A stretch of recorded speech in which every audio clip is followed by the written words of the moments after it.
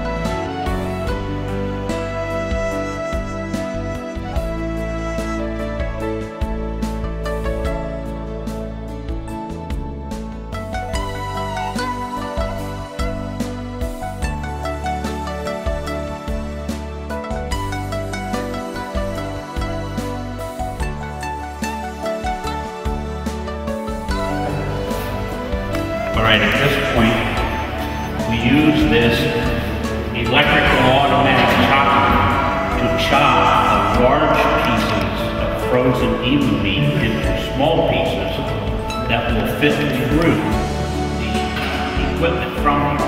So from this point, we take it, we put it on a heat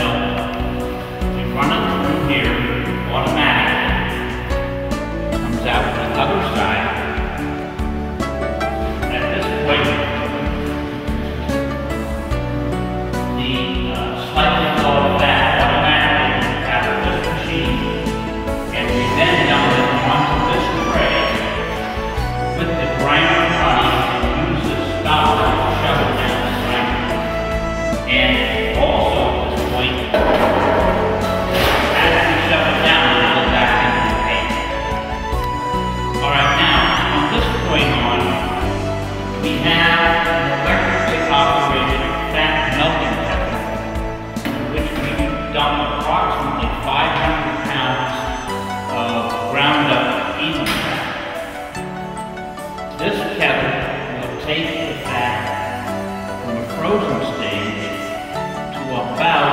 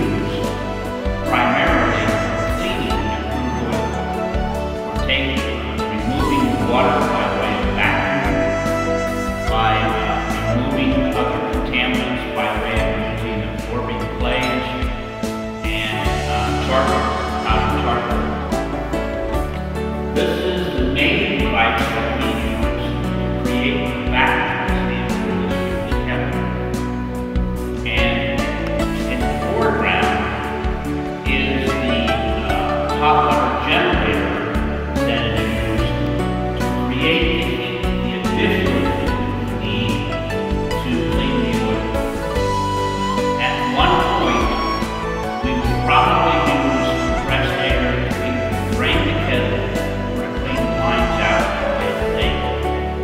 Once we have run through this kettle cleaned it and taken as much moisture out as we can, we then pull it out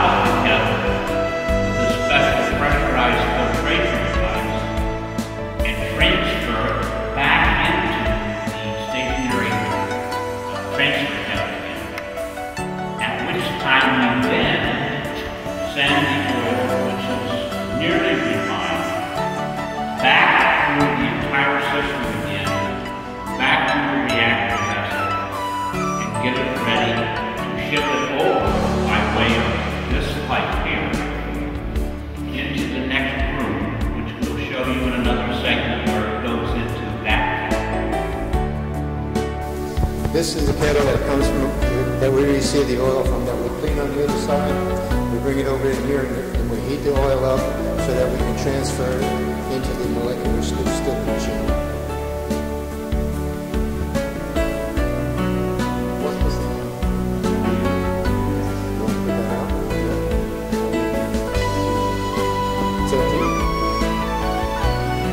Generate the heat in this kettle to be about 160 degrees.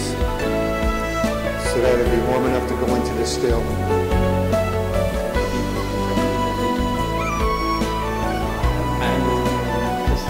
And we'll go around the other side and we can take a look at this. The molecular still, what we do is we take, it takes out some uh, metals and, and things that don't belong into the oil, contaminants and things that we miss when we do a cleaning process next door. The molecular still will pick up the difference and it will also take out all of the odor that's in the oil.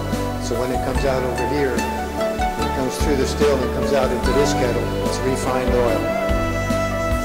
Take it and put it in here and we process it through and it goes into our five gallon buckets. And then we put a, a nitrogen gas on it so that no contaminants get to it because the nitrogen gas is heavier than air, so it holds the air oil so it doesn't contaminate.